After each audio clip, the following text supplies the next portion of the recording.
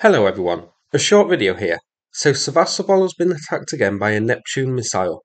Russia claims that the missile was intercepted and debris landed on the harbour, but you can see here in the video that there's a fire burning. Now I can't tell what was hit here. If this was a ground installation on fire, then reports of an interception may be true, and this fire was either caused by falling debris or even a misfire in SAM. As Neptune is an anti-ship missile, so I'd expect it to be used to target ships rather than a ground target. However, I'm going to play the video without me talking. I think this is a ship that was hit. The translation with the auto subtitles isn't great, but the person recording does say this hit a ship and the ship is burning.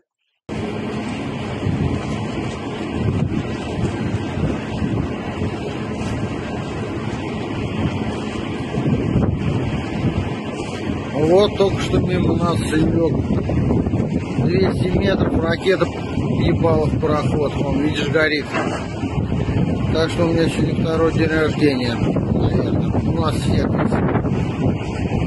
Вот такая вот херня, вот так мы.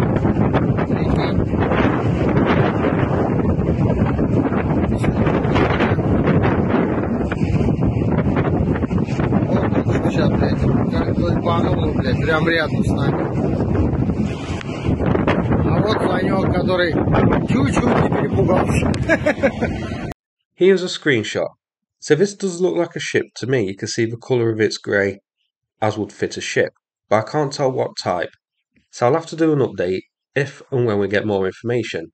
But it's looking like a successful missile strike here by Neptune, hitting another ship at Sevastopol harbour. I'll do an update if we get more information. Thanks so much for watching and take care everyone. Very